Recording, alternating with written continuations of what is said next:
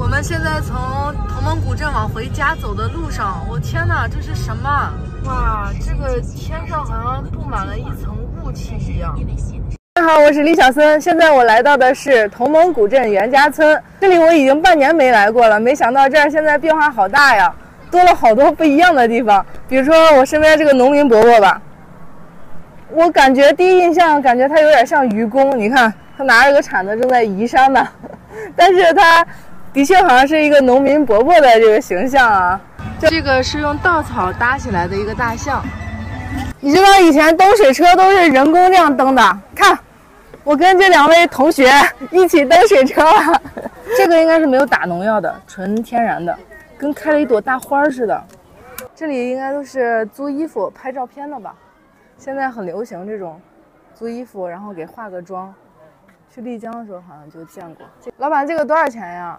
租衣租租衣服？租衣服的话，平常价是一百二十九起步，包含妆造，不限时间。不限时间是吧？就是自己出去拍。对，这个二百三十九。对，咱们是不包含拍照的，拍照是需要另外收费，这个不在一百二十九里面。哦，是这样哈。现在还不到吃饭的点儿呢，哇，你看看这里又开始排队了。这是这一家卖糖糕的店，每次都是排队这么长的人，我从来没吃过，因为人太多了。两块钱一个糖糕，红糖的。看抖音。是装骗，一亩地多收几百元。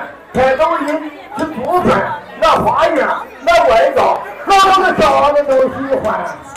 其实我觉得旅行嘛，就是光吃光吃。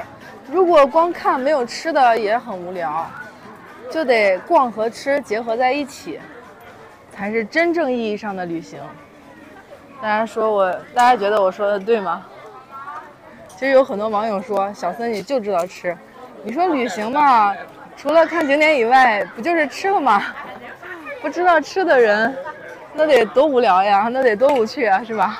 今天我们出来玩，还专门拿了个羽毛球拍，我们打算在这儿打羽毛球呢。但是我看这个房子吧，有点危险呀，这样很容易打到那个房梁上面。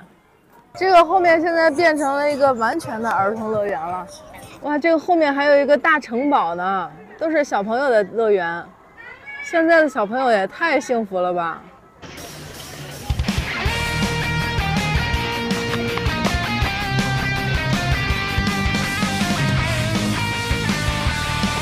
晚上好像比白天的人还要多一些。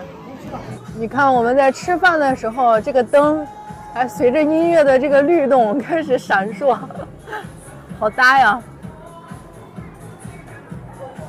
晚上一边听着音乐，一边在这吃点东西，还挺惬意的。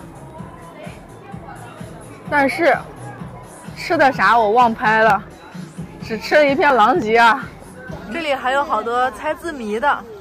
比如说这个“仙乐”打一成语，“仙乐”，这个是相声打一成语，这么多全部都是谜面，没有谜底啊！太上老君伸手，太上老君伸手打一成语是什么？铁公鸡打一成语，铁公鸡一毛不拔，我终于打出来了，终于猜出来一个。大家看啊，这个树上挂了很多这个条幅。你看，上面都是写着上附中小奥，就是，呃，各个学子在这儿求学的。因为这里叫文昌阁，里面呢就是文昌帝君。文昌帝君呢就是专门掌管天下读书人的皇帝，所以很多学子都在这里来拜文昌帝君，希望自己学业有成，能考上一个自己理想的学校。你看上面都系了很多这种红色条幅，晚上的夜景好像更好看一些。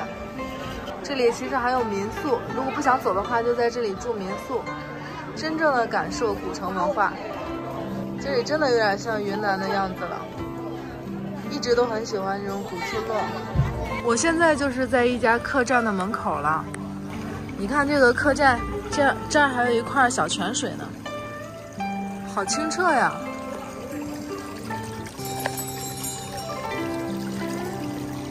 我觉得有水的地方我都很喜欢。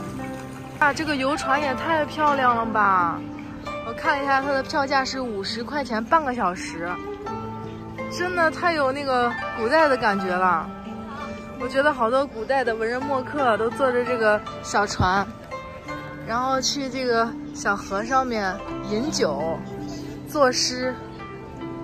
有时候呢，可能再招一个名妓，就在这里吟诗作对，太惬意了吧！